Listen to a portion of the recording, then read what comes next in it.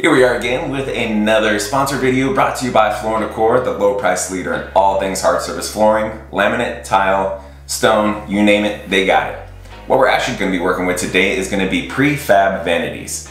A while back I did a LVP installation directly over tile. I'll put the link right up here. Uh, check it out, it came out amazing through our entire house. Uh, we love the color for our furniture, our decor, what we really wanted to go with. But when it came to this bathroom, it just does not match. The flooring doesn't match the granite or the cabinets. So we're gonna go ahead and head to Floor & Decor right now and go ahead and pick out a new vanity.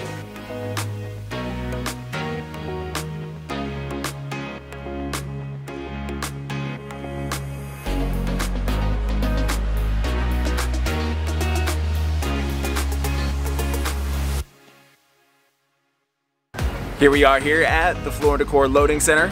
We have gone ahead and went through the store, looked at all the options that they have to offer and found the one that we love. It's gonna match our floor perfectly. Right now what they're doing is they're actually picking our order. I got my car waiting here. They're gonna load it up here in just a minute. After that, we'll get our vanity home and we'll get this thing installed. Now that we picked up our vanity from Floor & Decor, it's time to get this room ready for installation. The very first thing I'm gonna be working on is removing everything out of this room. I'm gonna empty out the cabinet here, get rid of the decorations, remove the mirror. Um, luckily it's not attached to the wall so that's gonna come out easy. After that, you wanna make sure you turn off your water. When doing the demo work, you wanna make sure that if you hit a pipe or anything, you're not gonna have water spray all over the place. It's just an extra mess you don't wanna have to clean up. After that, we'll go ahead and remove all of the piping, remove the countertop, and then from there, we'll be ready for the installation of our new vanity.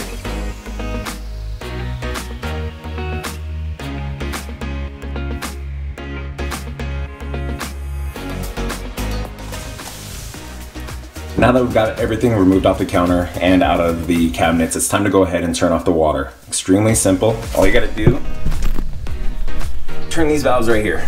There should be two of them, one for hot, one for cold. Just turn them to the left, that'll remove, turn off the water. One tip, make sure you do lay down a towel or something underneath the pipes before you start taking them out because there's still gonna be water in the pipes. So the next step is we're gonna go ahead and remove all of these.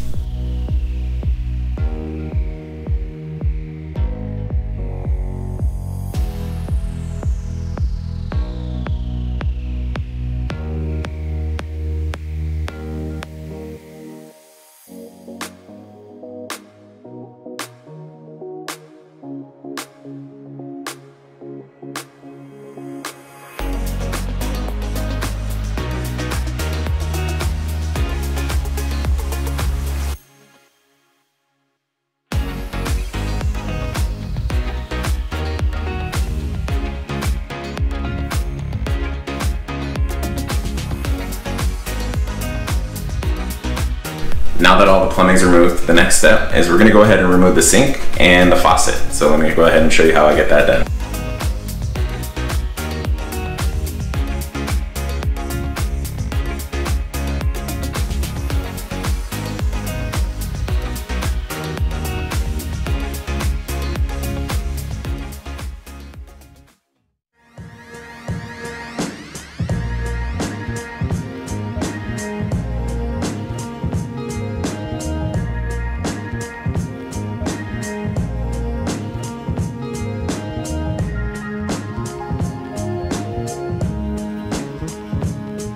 Now that everything's removed, it's time to go ahead and actually start getting rid of the countertop. Um, this is gonna be different for every installation because everybody has different stuff at their own homes. What I have here is this granite backsplash. Most likely it is glued and attached to the drywall, so as I remove it, it will rip chunks of the drywall out. Some of it I might be able to fix with spackle, some of it I might have to repair with additional drywall. I won't know until we actually get it done, but that's what we're gonna go ahead and remove right now.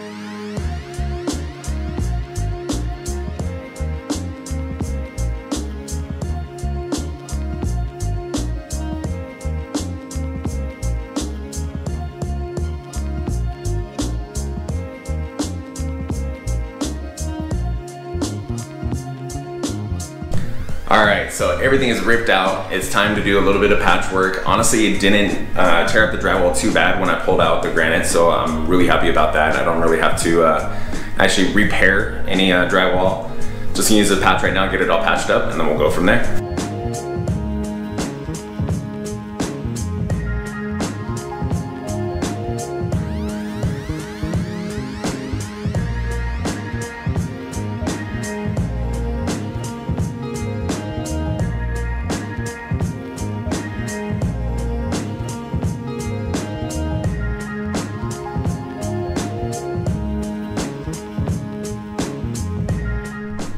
Issue that I'm getting that you might as well, depending on the type of vanity you get, is that I have a one inch gap now from the tile to the subfloor.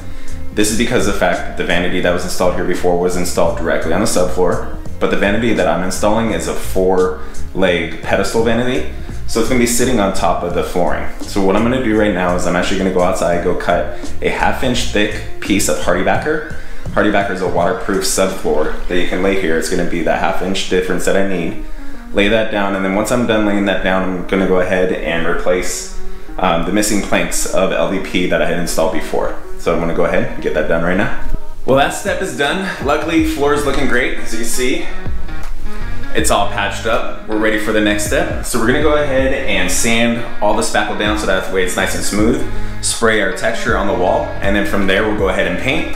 Once the paint's all done, then it's time to install the vanity.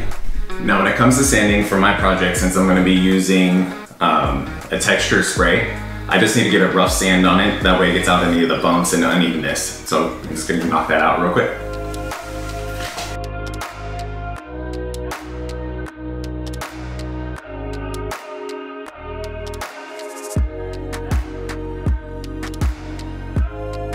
Once I cleaned up all the dust from all the sanding, what I'm gonna be using next right here is ceiling texture. What this is gonna do, it's gonna match the texture that I already have on this wall, so that way you can have just a seamless feel. Once that dries, then we'll be ready to paint.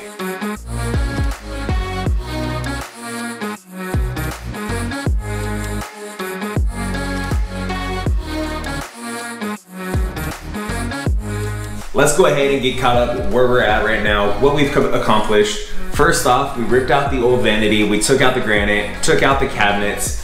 From there, we repaired all of the drywall, sprayed it with the texture spray so that way it matched the rest of the drywall. Also replaced the flooring at the bottom, replaced the baseboards, and lastly, I just finished painting this entire room so we get a nice fresh coat of paint. Now comes the fun part. It's time to install the new vanity. I have the vanity in here, and the first thing we're gonna be doing is we're gonna start with some plumbing. Now this particular vanity does not come with the faucet and drain. So I went to my local hardware store, picked one up, uh, went with the chrome finish obviously to match the poles that I have that comes with this vanity.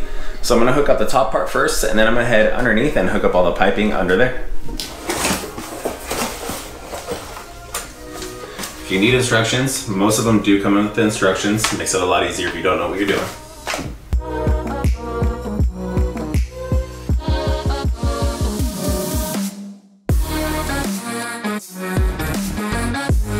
So this next part, I'm gonna do the best I can to have you follow along. The only problem is with plumbing, it's in a very tight space, so recording and being able to explain what I'm doing, it can get a little difficult, so please bear with me. I'm gonna do the best I can, um, but honestly, if you follow along with the instructions, you should be able to install this without a problem. But very first thing we're gonna be installing is gonna be the handles. So they come with this attached, and what you're gonna do is you're just gonna remove this, because this is gonna go under the sink.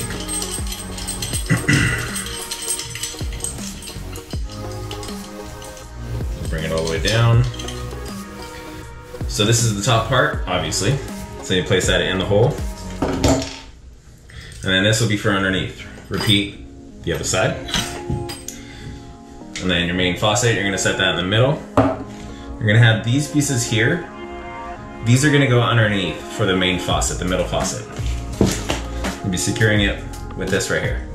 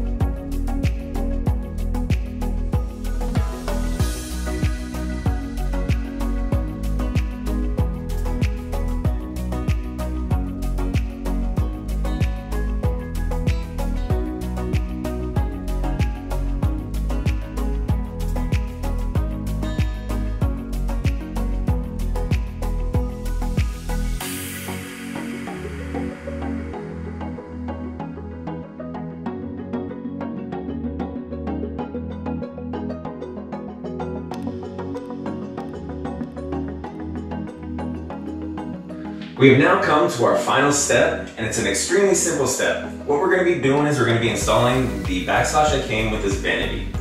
All you need to do is you're gonna flip it on its front, you're gonna take an all-purpose construction adhesive, and in an S shape down the middle of the back, a very thin bead of the adhesive.